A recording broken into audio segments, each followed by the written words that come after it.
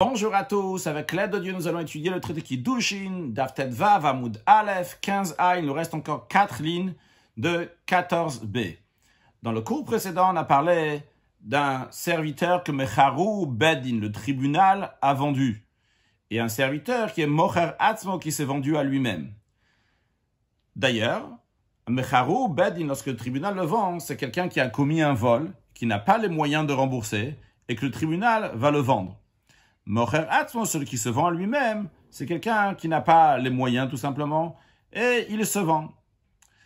Il y a certaines halachot, certaines, certains dinim, certaines lois qui sont dites à propos de celui qui a été vendu par le tribunal et qui ne sont pas dites à propos de celui qui s'est vendu lui-même. Maintenant, si on va faire une shava, un raisonnement par analogie, eh bien on va déduire les lois qui sont dites à propos de celui que le tribunal a vendu, ces lois-là vont s'appliquer aussi pour celui qui se vend à lui-même. Cette Xerashava est basée sur le mot sahir, qui veut dire un employé. Le mot sahir est dit aussi bien pour un serviteur que le tribunal a vendu, et ce mot-là est dit aussi pour celui qui s'est vendu à lui-même. Donc si on fait la Xerashava sahir sahir, tout ce qui s'applique pour celui que le tribunal a vendu, s'applique aussi pour celui qui s'est vendu à lui-même. Maintenant, la Gemara avait dit qu'il y a un Tana qui ne fait pas la Xerashara de Sahir Sahir. Et on était en train de rechercher, c'est qui ce Tana qui ne dit pas Sahir Sahir, qui ne fait pas ce raisonnement par analogie, et donc qui ne déduit pas les lois qui s'appliquent pour celui que Mecharu, Ben, que le tribunal a vendu. Ces lois-là ne s'appliquent pas pour le Mocher Hatz, pour celui qui s'est vendu à lui-même. On avait proposé de dire que le Tana qui ne tient pas de Sahir Sahir, c'est Tanakama. On avait ramené une Braïta, une Braïta dans laquelle il y avait une discussion entre la première opinion qu'on appelle Tanakama et la deuxième opinion, celle de Rabbi Elazar.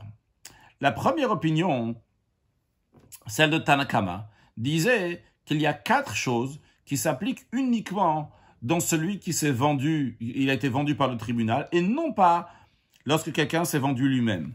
Le premier point était que uniquement celui qui a été vendu par le tribunal, il est vendu pour 6 ans et pas pour plus. Deuxièmement, uniquement pour celui qui a été vendu par le tribunal, il est poinçonné, il est poinçonné quand il veut rester plus que 6 ans et non pas celui qui s'est vendu lui-même. Troisièmement, celui qui a été vendu par le tribunal, lorsqu'il part, on lui donne à Anaka, le maître a le devoir de lui donner un, des cadeaux en prime. Et quatrièmement, que uniquement celui que le tribunal a vendu, son maître lui donne une servante cananéenne pour avoir des rapports avec elle et qu'elle va avoir donc des enfants, des serviteurs, et les serviteurs vont appartenir au maître. Donc ces quatre points-là, ça s'applique uniquement pour celui qui le tribunal a vendu. Comme ça disait Tanakama. Rabbi Lazar disait, non, il n'y a pas de différence. Que ce soit que le tribunal a vendu, que ce soit que lui-même s'est vendu, toujours ces quatre points s'appliquent. Donc la Gemara a voulu proposer que justement, qui est ce Tana qu'on est en train de rechercher? En train de rechercher, c'est qui le Tana qui ne fait pas la Xerashara, le raisonnement par analogie de Sahir, Sahir. La Gemara a dit, voilà, c'est Tanakama, vu que Tanakama différencie entre celui que le tribunal a vendu et celui qui se vend à lui-même. Il y a sur quatre points, uniquement celui que le tribunal a vendu, lui, il a ces quatre choses qu'on vient de mentionner et non pas celui qui s'est vendu à lui-même. C'est une preuve que Tanakama ne fait pas le raisonnement par analogie de Sahir Sahir. Mais Rav Taviom y a dit au nom de Abaye, non, c'est pas juste. Tanakama aussi fait le raisonnement par analogie de Sahir Sahir. Et donc, tout ce qui s'applique, toutes les lois qui s'appliquent dans celui que le tribunal a vendu, s'appliquent aussi en général sur celui qui s'est vendu à lui-même. Mais il y a quatre exceptions. Quatre exceptions, pourquoi? Parce qu'à chaque fois, il y a un verset qui nous dit dans ces quatre points-là, ces quatre points sur lesquels Tanakama n'est pas d'accord avec Rabbi Lazar, Rabbi Lazar n'est pas d'accord avec Tanakama, sur ces quatre points-là, il y a un verset particulier qui nous dit, ah, uniquement celui que le tribunal a vendu. Comme ça, Tanakama interprète donc ces versets dans ces quatre endroits-là. Donc, Rav Taviom Yonanda avait déjà commencé à donner sa réponse. On avait eu dans le cours précédent, on avait discuté d'où il apprend que uniquement, ce, uniquement celui qui a été vendu par le tribunal va travailler six ans et non pas celui qui s'est vendu lui-même. Donc ça, c'est déjà du passé, on ne va pas revenir. Et aujourd'hui, donc au début de notre cours, on va voir, donc en ce qui concerne donc, les trois suivants, donc celui qui a été, celui qui est poinçonné, c'est uniquement celui que le tribunal a vendu. On verra après aussi, donc celui qui, uniquement que le tribunal a vendu, reçoit des cadeaux en prime lorsqu'il quitte son maître. Et troisièmement, on verra donc comment uniquement ce que le tribunal a vendu, d'après Tanakama, il est, son maître peut lui donner une servante cananéenne pour avoir des enfants. Sur le texte, donc on est sur 14b, la quatrième ligne du bas, Maitama de Tanakama. Quelle est la raison de Tanakama Que bien que Tanakama, il fait oui le raisonnement par analogie de Sahir Sahir, mais pourtant des Amar il dit que que celui qui se vend lui-même n'est pas poinçonné. La réponse, elle est pourquoi il le différencie de celui que le tribunal a vendu? Vu que la Torah, elle a exclu à propos dans, un cas dans lequel que le tribunal l'a vendu en disant Veratza Adonav et Osno que son maître va poinçonner Osno, son oreille, avec le, le poinçon. Donc il apprend de cela que c'est uniquement Osno Shelo, son oreille, l'oreille du serviteur donc qui est vendu par le tribunal, lui peut être poinçonné, mais non pas l'oreille de celui qui s'est vendu lui-même. Rashi Osno Miutu, c'est une exclusion pour nous dire des Kayetera, car c'est un verset qui est en plus. L'idrasha, pour interpréter pourquoi c'est un mot qui est en plus, le mot Osno. Donc Rashi dit, dit Le verset en plus, c'est pas le verset, mais c'est le mot même qui est en plus. Le mot Osno, il est en plus. Pourquoi le mot Osno, il est en plus que lorsqu'on dit Viratsa Adonav et Osno Bamartsea Pourquoi ce mot Osno, qui veut dire son oreille, est en plus? Des actifs, car il est déjà écrit avant que lorsque le serviteur ne veut pas sortir au bout de six ans, eh bien, venatata be Osno, il y a écrit là-bas, tu mettras dans son oreille, Osno badelet, de son oreille à côté de là, avec la porte. Donc, on a déjà dit be Osno, pourquoi on a besoin de répéter? C'est pour nous dire justement que Osno, d'après Tanakama, uniquement l'oreille de celui que le tribunal a vendu et non pas l'oreille de celui qui s'est vendu lui-même. Très bien, Tanakama a bien dit. Ve'idach, alors l'autre, Rabbi Elazar, qu'est-ce qu'il va dire? La Gemara a dit, Rabbi Elazar, il dit, le mot Osno, il est déjà pris à il pour nous faire un raisonnement, un autre raisonnement, par analogie. Quel raisonnement par analogie? Rabbi Elazar apprend du mot Osno Voyons des Tanya, l'enseignant une braïta, Rabbi Eliezer, ne pas confondre avec le Rabbi Elazar, qu'on est en train de discuter. Donc on est en train de ramener une braïta qui a été dit, Rabbi Eliezer parle là dans cette braïta. Et il dit la chose suivante. Rabbi Eliezer Omer, d'où on sait que le poinçonnage de ce serviteur-là est fait dans l'oreille droite et non pas dans la gauche. Alors la réponse elle est, Nemakan Ozen. Il est dit ici, à propos de celui qui se poinçonne, il y a écrit le mot oreille. Vrai, il n'y a pas écrit quelle oreille. Mais ailleurs, il est dit aussi l'expression de l'oreille. Où est-ce que c'est ce ailleurs? Rashi ozen. Ailleurs, il est dit l'expression d'oreille. Bimetsora ani. Il s'agit d'un lépreux qui est pauvre. Alors, la règle est que quelqu'un qui était lépreux, il doit, après avoir fini donc son processus, il doit amener trois sacrifices. Un agneau et encore deux animaux. Et la Torah, elle dit donc qu'à suite à ça, après que il va amener ces trois animaux, eh bien, le Cohen va prendre du sang de cette offrande à Cham, il va en mettre sur la région médiane de l'oreille droite de celui qui se purifie. Bien. Puis, la Torah, elle continue, elle dit, si ce lépreux-là n'a pas les moyens d'amener trois animaux, dans ce cas-là, il amènera un agneau et deux oiseaux à la place des deux animaux. Et la Torah répète encore une fois que le Kohen va prendre du sang de cette offrande Hacham et il en mettra sur la région médiane de l'oreille droite de celui qui se purifie. Donc, ce que Rashi nous dit, Bimtsora Ani, donc en ce qui concerne le lépreux qui est pauvre, on nous répète encore une fois ce détail-là que le Kohen va prendre le sang et le mettre sur son oreille droite. Donc, chez Kola Paracha, Rashi nous dit tout ce passage-là qui parle donc du pauvre, L'idrasha, il est venu pour nous faire une interprétation. Vu que ça a déjà été dit pour elle-même, tout le texte, tout le sujet a déjà été dit. Lorsque c'est un Metzora, un lépreux qui est riche, quand on dit qu'il est riche, c'est qu'il a les moyens d'amener trois sacrifices. Et ça a été répété encore une deuxième fois. Pourquoi ça a été répété une deuxième fois? Justement, l'idrasha, pour faire une interprétation. Et ainsi, il est dit dans le traité Menachot. Quelle est l'interprétation qu'on apprend? Eh bien, justement, sur le texte d'Agmara, manière que là-bas, à propos du Metzora, du lépreux. La Torah dit clairement de quelle oreille s'agit-il? De l'oreille droite. Afkan ici aussi, dans notre contexte, dans le contexte du poinçonnage, c'est Yamin, c'est l'oreille de droite. Donc Rabbi, Rabbi Elazar, qui n'est pas d'accord avec Tanakama, il va dire Osno. Pourquoi on dit Osdo Son oreille. Pour nous dire son oreille, l'oreille précise, l'oreille de droite, non pas l'oreille de gauche. Donc le mot Ozen, en effet, qu'il est en plus dans le poinçonnage. Mais pourquoi ce mot-là, il est en plus Pour nous dire, fait référence à une autre fois Ozen, qui est en plus aussi dans le Metzora, dans le lépreux qui est pauvre. Et on va dire de la même manière que dans le Metzora qui est pauvre, là-bas il y a écrit l'oreille droite, là-bas c'est en plus. Eh bien, cette oreille droite qui est en plus là-bas, on la met ici dans le poinçonnage qui écrit oreille est en plus pour nous dire, nous dire que c'est l'oreille qui est droite. Veidar. Alors maintenant, qu'est-ce que Tanakama va dire?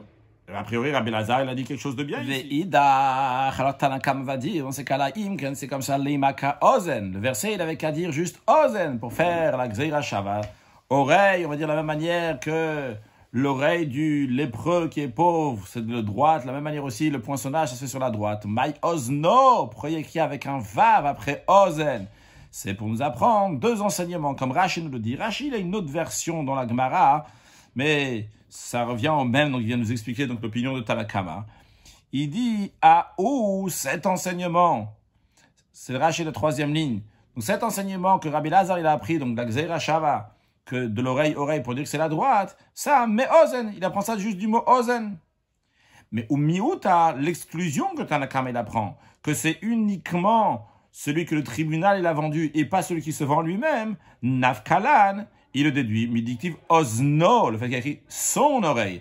De mashwa, ça sous-entend osno shalze, l'oreille de celui-là, de celui que le tribunal a vendu, et non pas d'un autre qui s'est vendu à lui-même.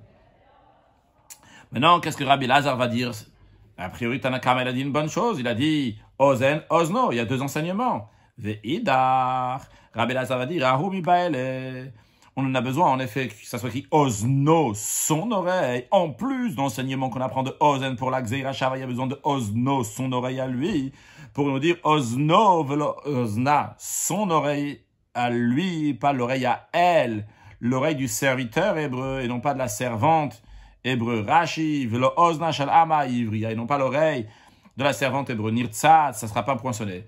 Ah, et a priori, on pourrait demander, il est écrit dans la Torah, et ainsi aussi à ta servante, tu feras la même chose. A priori, ça veut dire la même chose, tu vas aussi la poinçonner. Rachid nous dit non, anakakae, ça se réfère uniquement sur le fait qu'il faut donner des cadeaux en prime aux serviteurs lorsqu'ils sortent. Et on dit pas seulement aux serviteurs, au Eben, mais aussi à la servante, la matrata seken. Rachid nous dit, Kedil Kaman, comme on l'apprendra plus tard dans la Gemara, dans Daf Yudzaïn Bezrat. La Gemara continue la discussion. Comment Tanakama, il va expliquer que son oreille, ça veut dire uniquement l'oreille du serviteur et pas celle de la servante. Ve'idar, la Gemara, elle dit, et l'autre? Donc, le Rabbi, Tanakama, Navkala, il va déduire que c'est uniquement l'oreille du serviteur et pas de la servante, du fait qu'il dit Ve'imyom La Torah dit, si le serviteur va dire, je veux rester chez mon maître, à ce moment-là, on dit qu'on va poinçonner l'oreille du serviteur. Donc, à Eved, le fait que la Torah ici, le serviteur va dire, donc c'est le serviteur, Velohama, et non pas la servante. Qu'est-ce que Rabbi Lazar il va dire sur ça? Veidar. Rabbi Lazar il va te dire, pourquoi la Torah a dit Vimyomara Eved? Si le serviteur va dire, c'est pas pour dire le serviteur et pas la servante. Parce que le fait que le serviteur et pas la servante, ça on apprend déjà du fait qu'il y a écrit Osno et pas Osna. Pourquoi il y a écrit à Eved? Tout simplement, mais ben on a besoin de chez Yom Eved pour qui, disent je veux rester chez mon maître lorsqu'il est encore serviteur. C'est-à-dire, comme on va voir dans Rashi, que lorsqu'il est encore dans ses six ans de travail et il dit je veux rester chez mon maître, à ce moment-là on va le poinçonner. Mais s'il a déjà fini ses six ans de travail, une fois que c'est passé les six ans de travail, s'il dit je veux rester chez mon maître, il pourra plus rester. Donc c'est pour ça qu'on dit à Eved. Lorsqu'il est encore serviteur, il doit s'exprimer d'une telle manière. Rashi Eved. Il apprend du verset qui dit si il va, si le serviteur va dire, Shimlo Amar, il apprend, il apprend de ça, il dit, Shimlo Amar, Si le verset, les mots j'ai aimé mon maître, je veux pas sortir en liberté. Il est dit uniquement qu'une fois que les sept ans, les six ans sont finis, les six ans de travail sont finis, Eino Nirza, il ne sera pas poinçonné. Ah, alors maintenant, qu'est-ce que Tanakama, il va dire sur ça? Alors Tanakama, il va dire, Ve'idar, mais Eved, ha Eved Naka. Tanakama, il dit, il y a deux choses à apprendre. Là, Torah aurait pu dire, Ve'im Yomar Eved. Si le serviteur va dire, le fait que la Torah dit Ve'im Yomar ha Eved, il y a deux choses à apprendre. Rashi, Eved, ha Eved. Il y a un premier point à apprendre, Eved, le fait qu'il y a écrit serviteur, Hachi Yomar Eved. Il doit dire, je veux rester chez mon maître lorsqu'il est encore serviteur, lorsqu'il est encore dans ses six ans. Après, il y a écrit, ha Eved, il y a écrit un R avant le Eved. Pas qu'il Yomar Eved, Yomar Ha Eved. Le fait qu'il y ait un He, Nav du He qui en plus pour nous dire, c'est uniquement Ha Eved, le serviteur, Limute Ama, ça exclut, la servante. Et Rabbi Lazar, Veidar, Rabbi Lazar, Eved, Ha Eved, Lodarish, lui fait pas cet enseignement de Eved, Ha Eved. Il pas le fait qu'il y a écrit Ha Eved avec un E avant, ça va pas, on va pas en faire une dracha. Pourquoi pas? Rachid nous dit Lodarish, de Ochadikra, parce que c'est l'habitude du verset, c'est l'habitude de la Torah, de parler d'une telle manière. Donc il n'y a pas de loi supplémentaire à déduire de cela. Bien, passons maintenant au troisième point dans lequel ils sont en désaccord, Tanakama et Rabbi Elazar. Encore une fois, il y avait un point qu'on a vu dans le cours précédent, un deuxième point que nous avons vu euh, maintenant, qu'on vient de finir, et maintenant un troisième point sur lequel ils ne sont pas d'accord, Tanakama et Rabbi Lazar, c'est en ce qui concerne la Ahanaka, le cadeau en prime qu'on donne au serviteur, que d'après Tanakama, c'est donné uniquement à celui que le tribunal il a vendu, et d'après Rabbi Lazar, c'est même à celui qui s'est vendu à lui-même.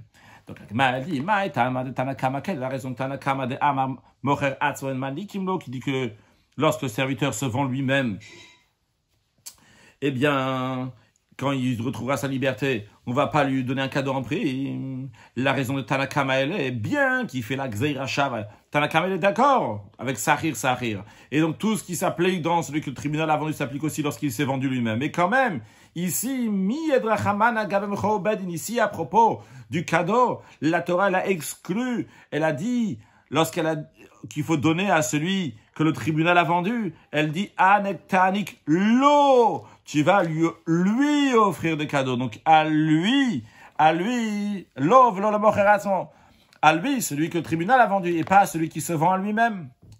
Non, qu'est-ce que Rabbi Lazar va dire sur ça? Rabbi Lazar dit que même celui qui se vend à lui-même aussi reçoit le cadeau une fois qu'il est affranchi. Veda, Rabbi Lazar va dire, Harumi Bele. Pourquoi il y a écrit Tu vas le donner à lui. C'est à lui, Velo et non pas à ses héritiers. Rashi velolo yorshav, et pas ses héritiers. C'est-à-dire que s'il a travaillé le temps qu'il devait travailler et il est mort avant que le propriétaire lui donne le cadeau, il me le là, Nico, il n'a pas eu le temps de donner le cadeau à Tchemet, alors que le serviteur est mort, eh bien, il ne faudra pas donner aux héritiers. Donc, ça, c'est l'hypothèse que la Gemara dit. Qu'est-ce que Rabbi Lazar dit Qu'est-ce que Rabbi dira? Il dira, non, ça veut dire lui, velolo yorshav, pas pour ses héritiers. Mais la Gemara dit, non, c'est pas possible que Rabbi Lazar dirait une telle chose. Parce que Yorshav Mailo, pourquoi ces héritiers ne recevraient pas les cadeaux qui étaient dus à leur père? Sahir Hamana. La Torah, elle appelle ce serviteur-là un sahir, un salarié. Et donc, Ma Sahir, de la même manière qu'un salarié, Poulato le Yorshav, son ouvrage revient à ses héritiers, Rashi Poulato, c'est-à-dire pas juste son ouvrage, mais Srar Poulato. Donc, le salaire de son ouvrage revient à ses héritiers. Afai, celui-là aussi, donc ce serviteur qui est mort avant d'avoir reçu le, cadeau, Poulato le Yorshav, son ouvrage, mais ici c'est donc sa récompense qu'il devait avoir, donc ces cadeaux-là, vont oui aller aux héritiers. Donc on ne peut pas dire que quand il y a la Torah, elle dit Anek Taniklo, tu le donneras à lui, ça dira lui et pas aux héritiers. C'est la raison pour laquelle que la Gemara dit, Rabbi Lazar expliquera le verset Anek Taniklo, tu le donneras à lui, non pas comme Tanakama en effet qui dit que l'eau, c'est-à-dire à lui, à celui que le tribunal a vendu, non pas à celui qui se vend lui-même. Et la love, le c'est pour dire que il faut donner ce cadeau là au serviteur lui-même et non pas à son créancier. Pourquoi ça serait monté à l'esprit de donner au créancier? Je vais dire oralement ce que la Gemara va dire, c'est que s'il y avait eh, trois personnes, ok? Il y a Rouven, il a prêté de l'argent à Shimon. Et Shimon, il a prêté de l'argent à Lévi. Donc, c'était un manet. Un manet, c'est 112. Donc, il a prêté, Rouven a prêté 100 euros à Shimon, Shimon a prêté 100 euros à Lévi. La règle de Rabbi Nathan, ce qu'on appelle dans la Gemara, on appelle ça le shibud de Rabbi Nathan. Je ne sais pas si la traduction exacte, c'est l'engagement de Rabbi Nathan en tous les cas. Donc c'est cette notion-là que Rabbi Nathan nous apprend d'un verset de la Torah qu'on va voir dans la suite.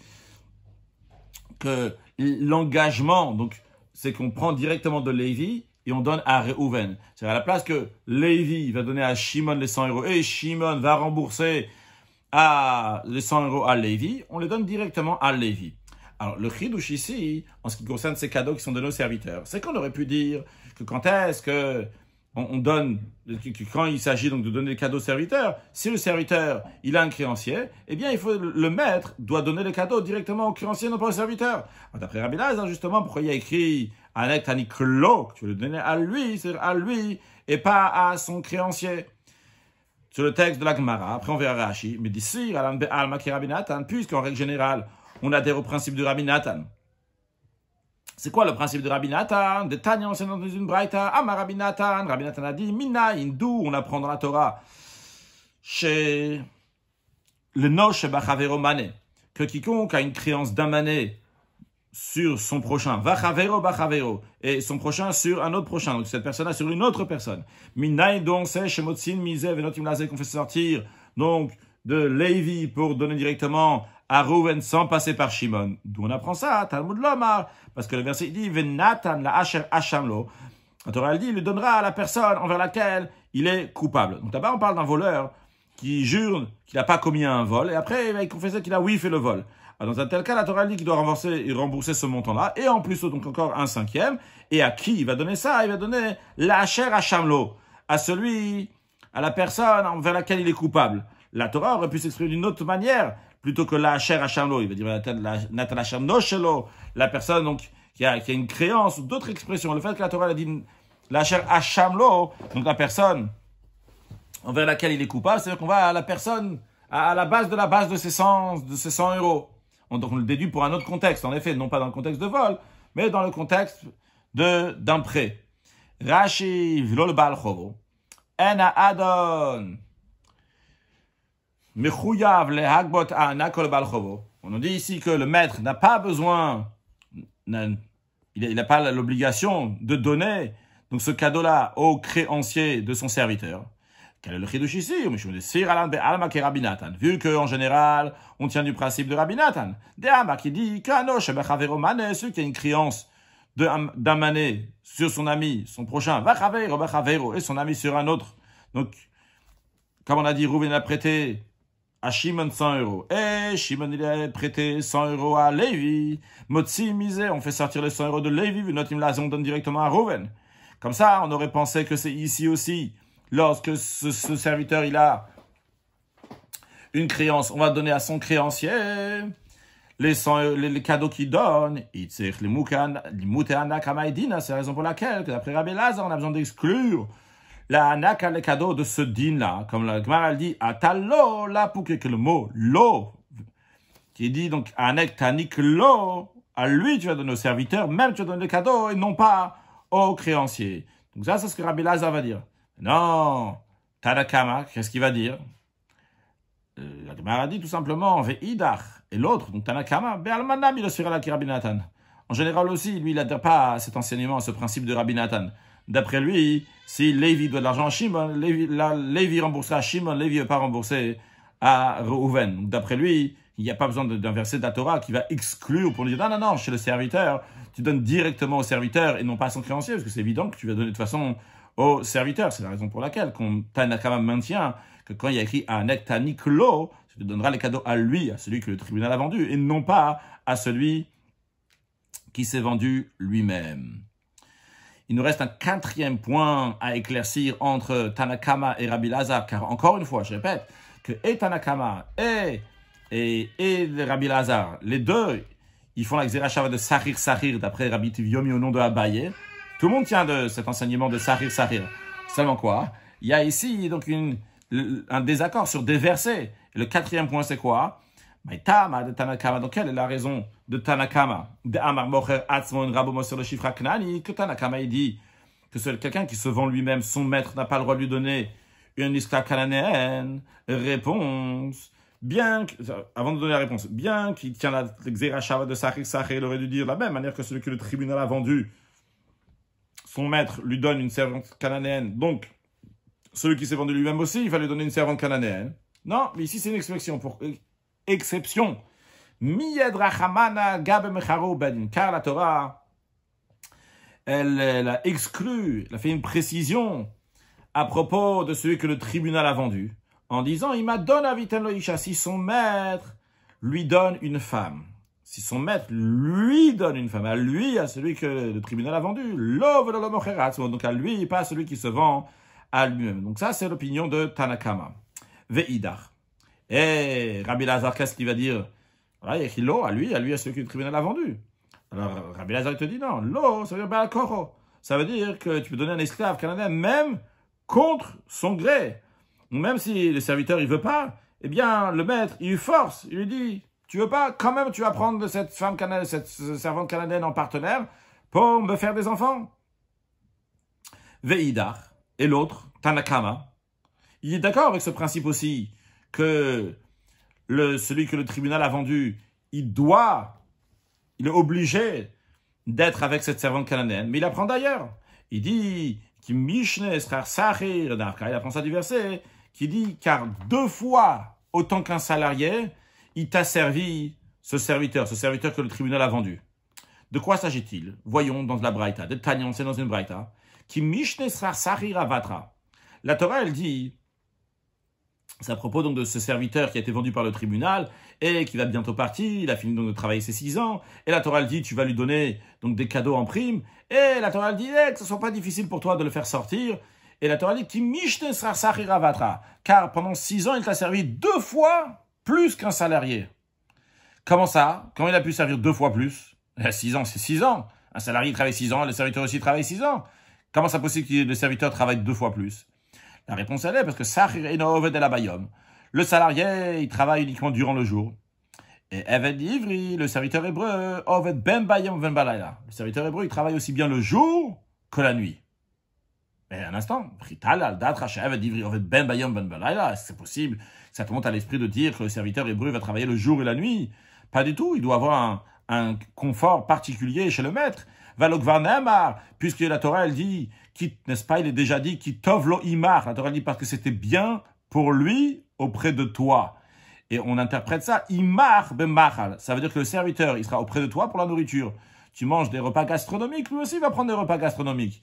Imar ben pour la boisson aussi. Tu vas prendre des, bons vins, des vieux vins. Lui aussi, la même nourriture. Donc, il est bien auprès, auprès, auprès de toi. Et de la même manière donc, le maître, il doit faire tout bien pour la nourriture et pour la boisson. De la même manière aussi pour la nuit. Il va pas le contraindre à travailler la nuit. Alors, comment c'est possible de dire que le serviteur travaille le jour et la nuit?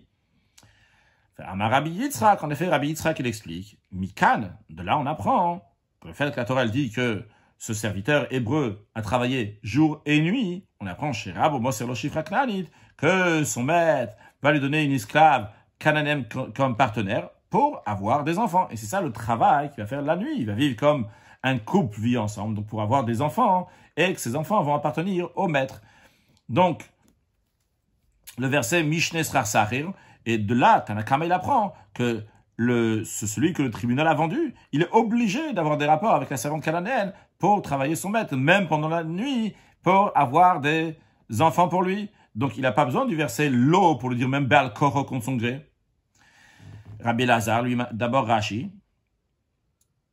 Donc Tanakama, il apprend ça, que c'est obligé pour un serviteur hébreu que le tribunal a vendu, qui doit avoir un rapport avec la servante cananéenne pour faire des enfants pour le maître.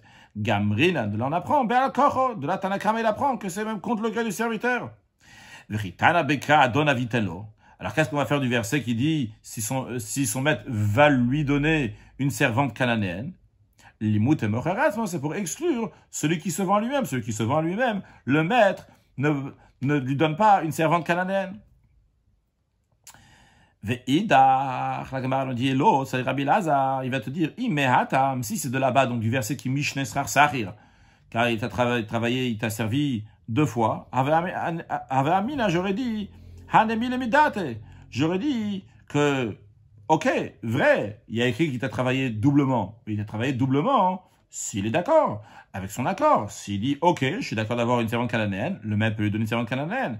Aval be'al kocho. Mais si le maître lui donnait contre son gré, et malo, j'aurais dit que le serviteur, il n'a pas à obéir. C'est la raison pour laquelle il a besoin de dire, l'eau, il m'a donné l'eau pour le forcer. Kamash c'est justement ça que nous enseigne le mot l'eau pour dire que c'est à lui. Bien, donc on a conclu ici une partie de la Gemara. Si on repart donc à ce qu'on était dans le cours précédent, on avait fait une Zerachava de Sahir Sahir. Et on a dit, il y a un Tana, qui ne tient pas de cette Zerachava, c'est raison par analogie de Sahir Sahir.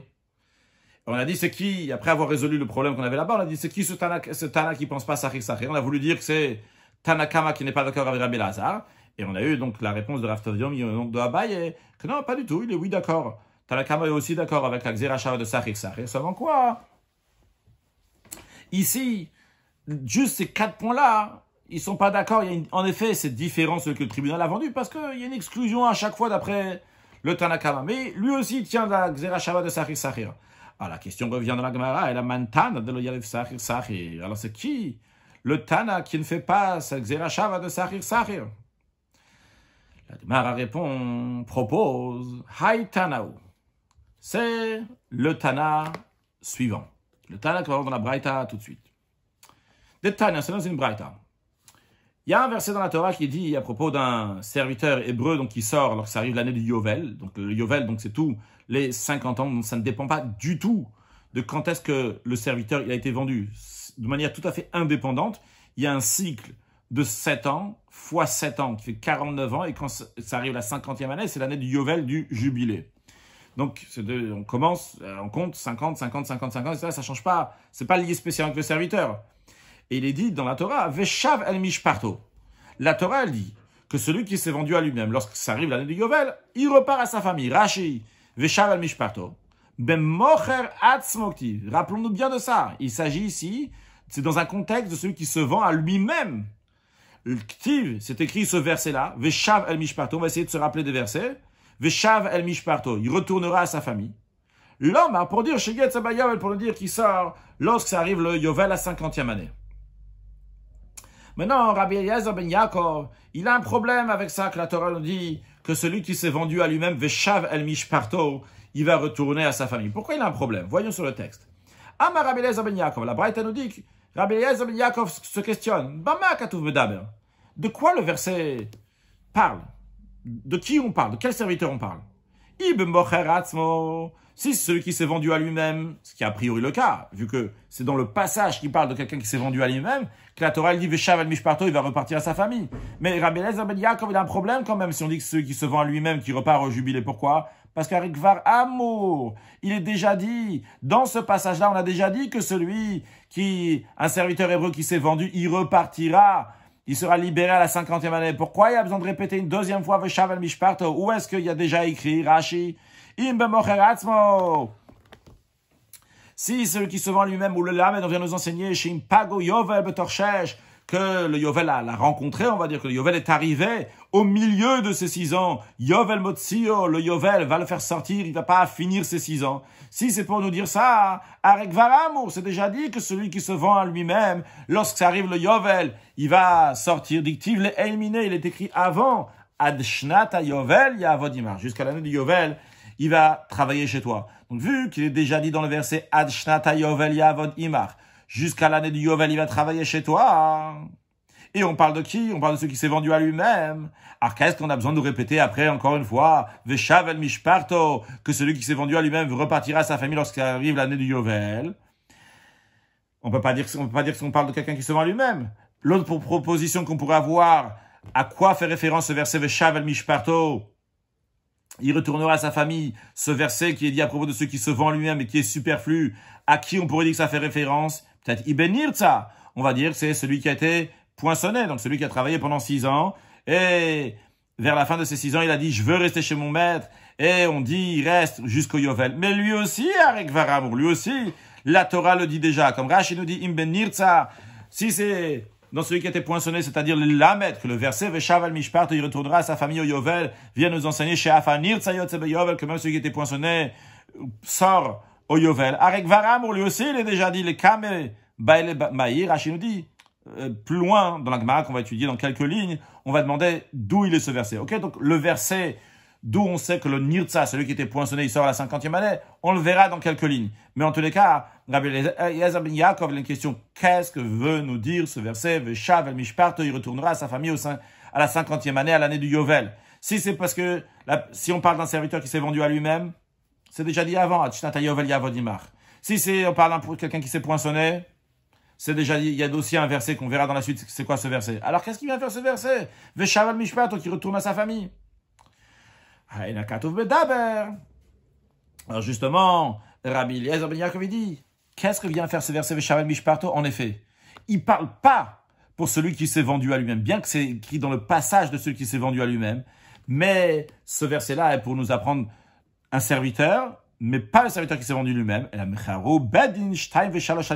s'agit d'un cas que le tribunal a vendu à un, juif donc, qui avait volé, qui n'avait pas de quoi rembourser, et ils l'ont vendu deux, trois ans avant le Yovel, et quand ça arrive le Yovel, Yovel Motsio, que lorsque ça arrive le Yovel, eh bien, il va être affranchi.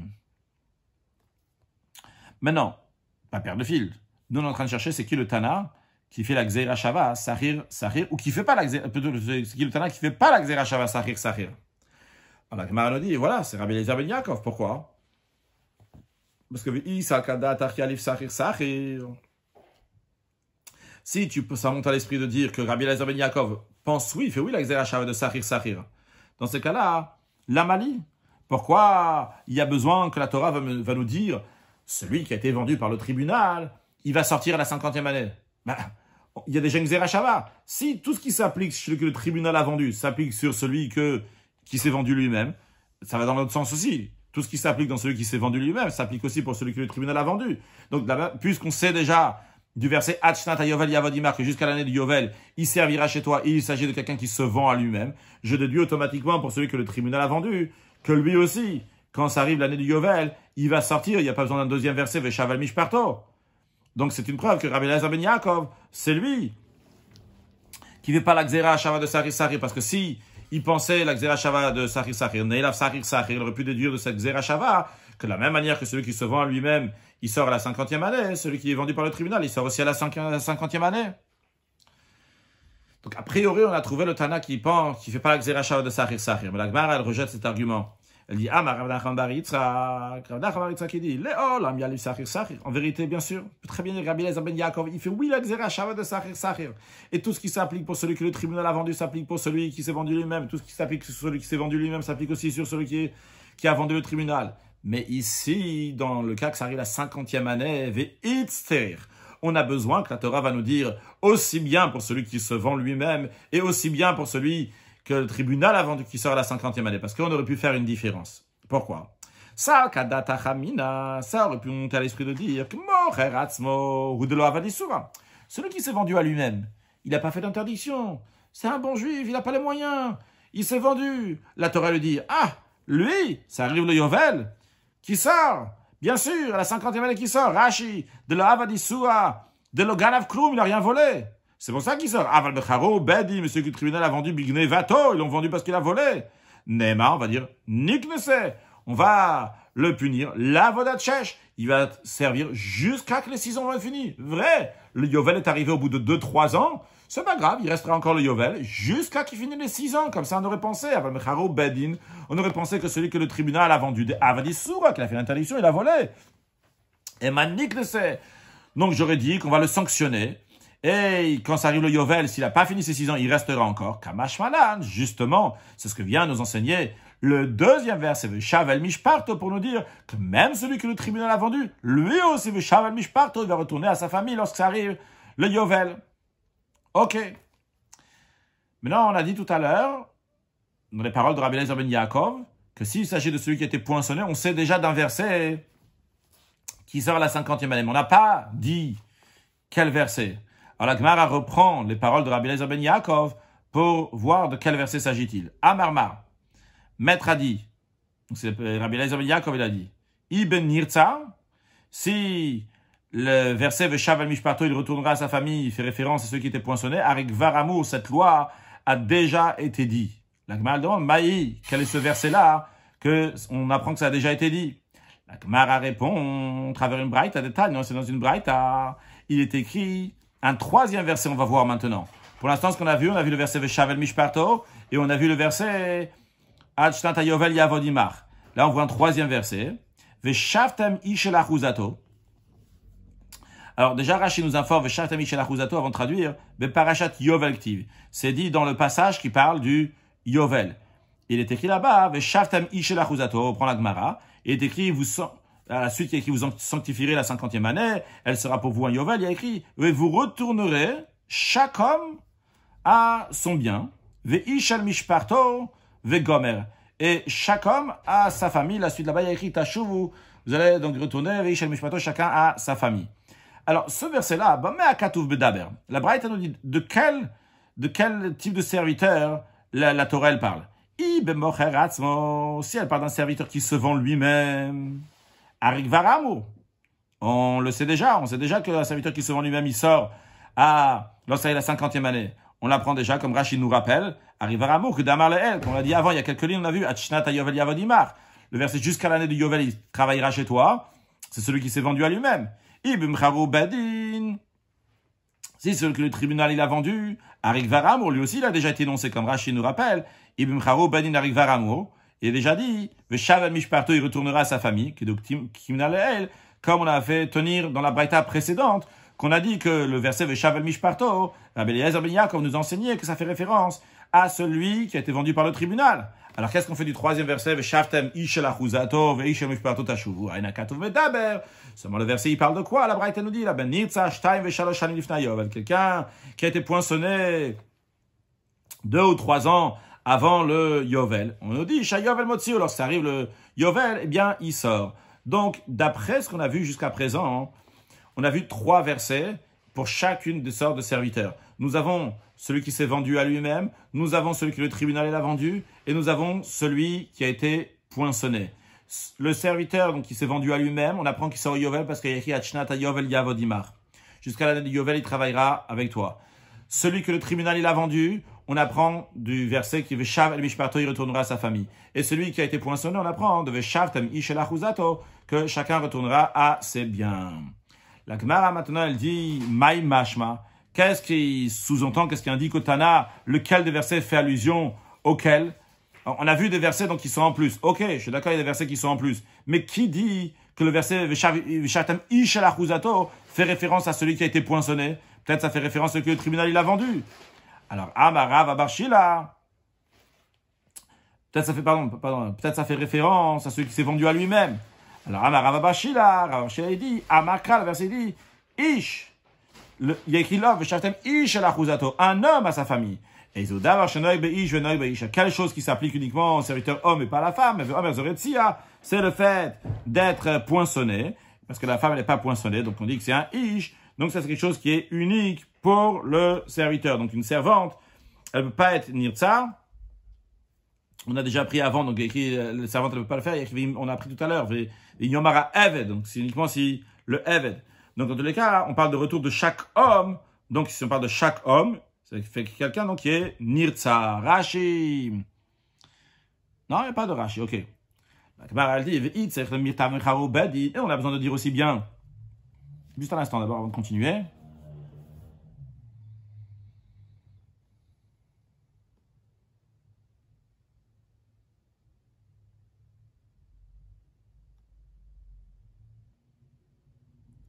Ok, donc euh, je... ouais, c'est bon, ça va.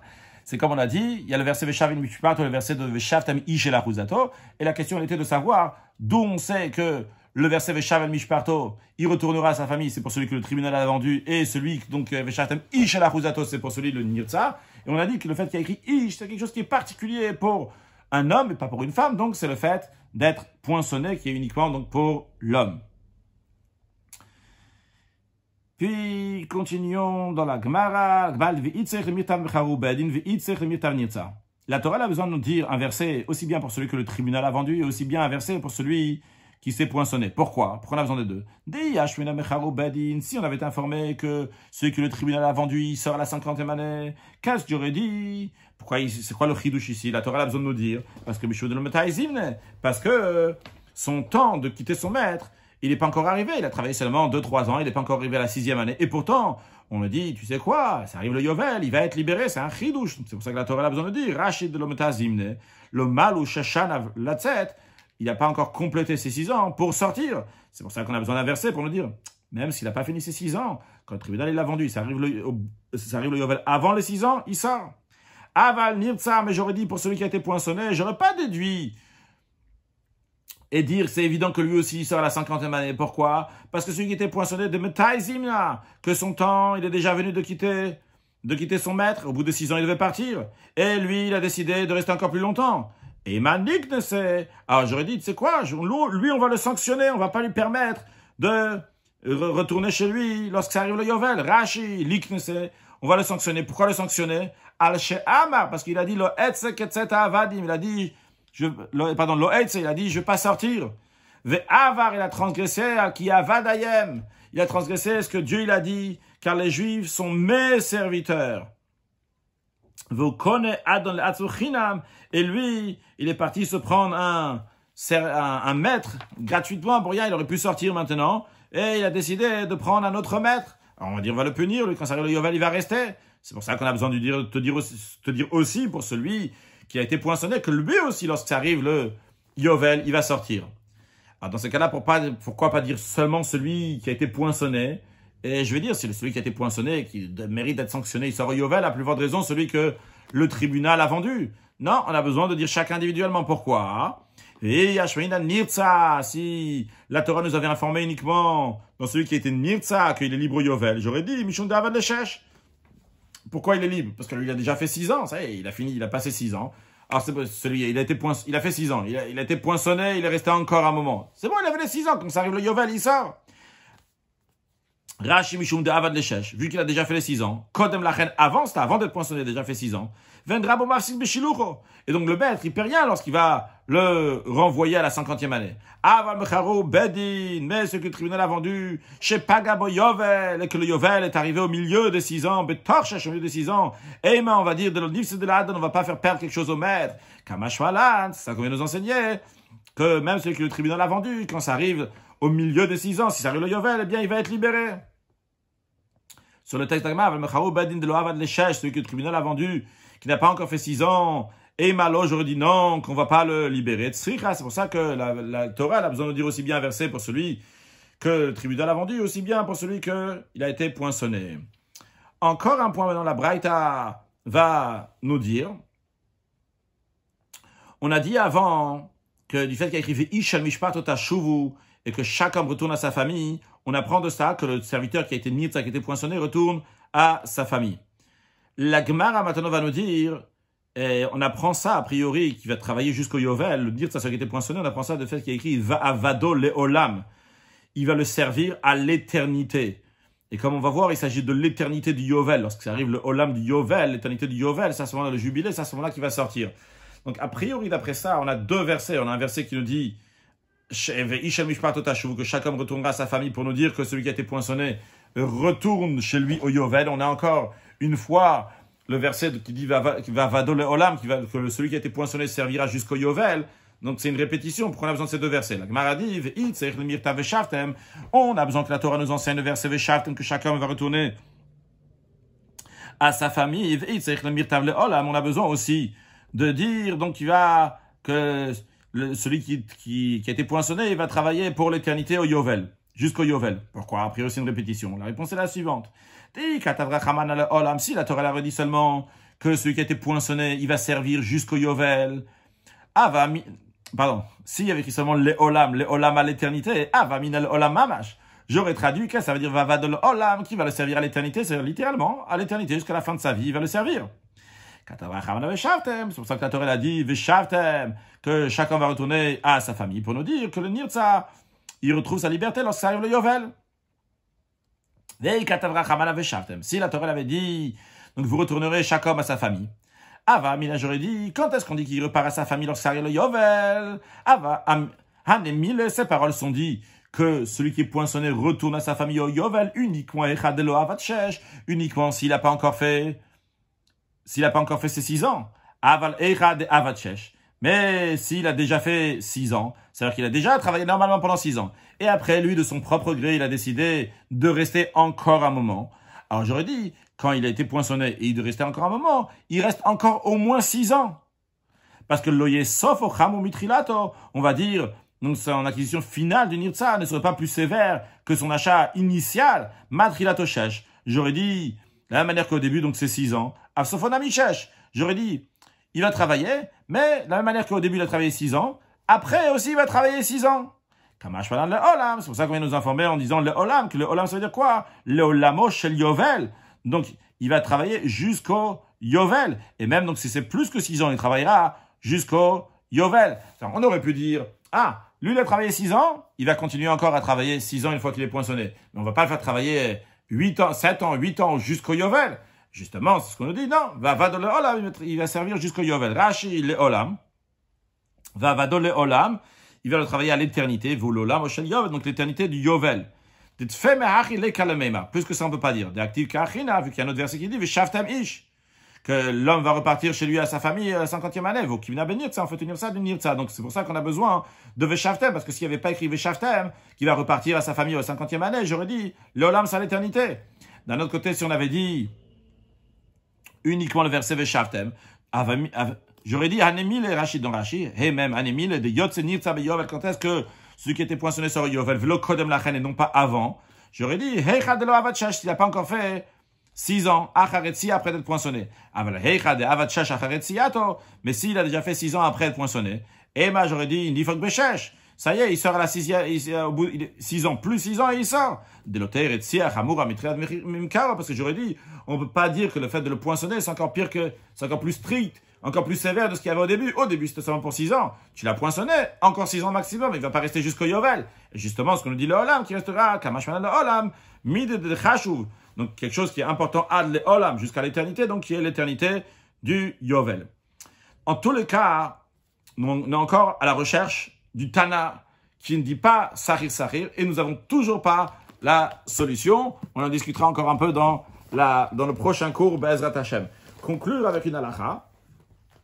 L'halakha dont on a parlé aujourd'hui, donc Shibuta de Rabbi Nathan. Donc l'engagement, le principe de Rabbi Nathan qui dit que Rouven qui doit qui, qui, qui, a une créance de sang chez Shimon, et Shimon a une créance de sang chez Lévi, on sort l'argent de Lévi et on donne directement à Rouven. Donc comme ça, c'est la halacha en effet.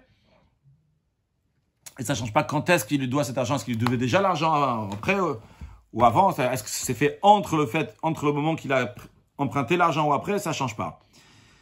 Il y a une rishima du rabbi, et si je ne me trompe pas, c'est la dernière rishima que le rabbi a écrit à Nice. Donc elle a été écrite à Nice. Le, écrit la rishima, le rabbi écrivait donc les dates. Il écrit de 21 en 24 Tevet Tavshin Aleph. Donc c'était en, en début 1941, vraiment le début, quelque chose comme janvier 1941, ou peut-être fin 1940. Ah, en principe, le 24 Tevet, c'est déjà donc euh, janvier. Et donc, le rabbi était à Nice, donc avant de partir à Lisbonne, pour partir de là-bas, donc après, le rabbi est parti en Amérique. Et d'ailleurs, même à Lisbonne aussi, le rabbi a écrit des Rishimot, là-bas, on voit comment le rabbi était entièrement posé dans la Torah. Et une longue Rishima dans laquelle le rabbi demande plusieurs questions sur cet enseignement de Rabbi Nathan, Plein de précisions, de Nosher, Chaveiro, hein, pourquoi Mané, pourquoi l'expression Motsim, Lazé, Shemotsim, Mise, Lazé, Hacham, etc. Alors, il donne plein de questions. On va s'arrêter juste sur un point général, comme le Rabbi l'explique, donc sur le plan spirituel, il dit, celui qui avait une créance chez son ami, celui qui a une créance chez son ami, c'est Akadosh Baruch Akadosh Baruch il vient chez le juif, il lui dit, tu me dois quelque chose, tu as une dette envers moi, Akadosh Baruch il nous donne des choses et nous on doit les utiliser. Il dit, je viens prendre. L'expression, elle est noche, parce que l'expression de noche, c'est aussi dans le langage d'un oubli. Et ça peut dire guidanaché, quelque chose qui a été déplacé de sa place. Nachaniet kolamali, c'est l'oubli. Ba la karat, c'est le malvé, c'est le créancier, en effet, comme le sens simple. Eh bien, Akadosh Baruch vient le rappeler. C'est pas juste qu'il vient lui demander son argent comme un malvé. Il vient le rappeler. Parce que le juif, il a détaché son attachement avec Akadosh Baruch Il s'est déplacé comme le guide il s'est déplacé de sa place. La place d'un Neshama, c'est le niveau Neshama Hora. Et la place, elle est Chatsuva Mitachat Kisa Kavala, le Neshama, je trouve sous le, le, le trône céleste d'Akadosh Baruch Et le juif s'est détaché de là-bas, il a oublié, il a oublié. Eh bien, on lui dit à Kadosh Baruch c'est le Noche. Il a une créance chez nous. Chez qui, chez, qui chez nous? Bachavero, son ami. Prenez les amis, la Gemara elle dit Achavere Avira. L'ami, l'ami de ton père, c'est qui? C'est Kadosh Baruch De même, on retrouve dans la Gemara d'Alarsanel, Chavdachotavid. Ce que tu détestes pas qu'on te fasse pas ton ami, on dit que c'est aussi Akadosh Baruch. Akadosh Baruch, on a appelé l'ami. Et bien que le juif, il a arrêté se rattachant avec Akadosh Baruch, il a oublié, il s'est détaché. Mais, il est dit que vos fautes, ils séparent le Ben C'est entre vous et Hachem il y a un écran. Mais entre Hachem et nous, dans l'écoute Torah, il dit, il n'y a pas d'arrêt. Et qu'est-ce qu'on doit à Kadosh On doit maner. Mané, c'est la plus grande des dettes qu'il peut y avoir, parce qu'un mané, c'est 100 ouz, qui monte sur une perfection, qui monte même sur les années. C'est vrai que on dit qu'après le Maboul, il est dit qu'à Kadosh ils auront seulement 120 ans, et que en général, 70 ans, de justesse 80 ans, mais dans le pire cas, on retrouve le, chiffre 100 et on parle tout ce qui se passe jusqu'à 100 ans, parce que c'est une perfection, c'est ce temps qu'Akadosh Baruch il a donné à Kadosh Baruch, vient le réclamer. Mais on lui dit quand même, des fois, c'est pas de sa faute. Akadosh Baruch vient réclamer chez un juif, mais c'est pas de sa faute à lui. C'est pas la faute de Chavero, de cet ami d'Akadosh Baruch c'est Chavero Bachavero. Il y a un autre juif qui est responsable de ça. Parce que le fait que Shimon ne s'est pas bien comporté, c'est parce que Levi n'est pas venu lui dire non, c'est pas comme ça qu'il faut faire, parce qu'on l'a pas aidé, parce qu'on lui a pas enseigné Torah Mitzvot, alors que tous les Israéliens, ils sont à Revim Zebazé, ils sont garants les uns des autres, ils sont mélangés les uns avec les autres, ils sont tous responsables, donc les uns des autres, comme la tête est liée avec le pied, le pied avec la tête. Alors, d'où on sait que Motzin, Motzin, c'est une expression qu'on le fait sortir même contre son gré, on lui donne pas son, donne pas son avis. On va chez le tzaddik, on dit, tu veux pas? On dit, sache que si ton ami l'a fauté, c'est ta faute à toi-même, toi aussi, donc toi tu dois payer, toi aussi tu dois faire ça. D'où on apprend ça, parce qu'il y a Nathan Hacham, Hacham, le Hacham, donc celui qui est fautif, donc il n'a pas payé sa dette, il doit rembourser maintenant, doit s'occuper. Donc, Bekitzo, ce que le rabbi dit déjà, donc avant de devenir rabbi, c'est qu'un juif doit s'occuper d'un autre juif, de tout faire pour qu'un autre juif va étudier la Torah, va faire la mitzvot. On ne va pas dire, moi je suis un tzaddik, moi c'est bon, tout ce qui se passe. L'autre, après, qu'on va lui dire, l'autre dire, ah, lui, qu'est-ce qui se passe? S'il se passe quelque chose chez lui, c'est ta responsabilité. C'est à toi de faire que l'autre, il va mettre de fine, qui va manger cachère, qui va avoir une mezouza, qui va garder la pureté familiale, qui va donner une éducation juive à ses enfants, qui va étudier la Torah, qui va faire tout ce qu'un juif il doit faire, tout ce que le rabbi nous demande de faire, et par cela amener la venue de Mashiach. Now! Excellente journée!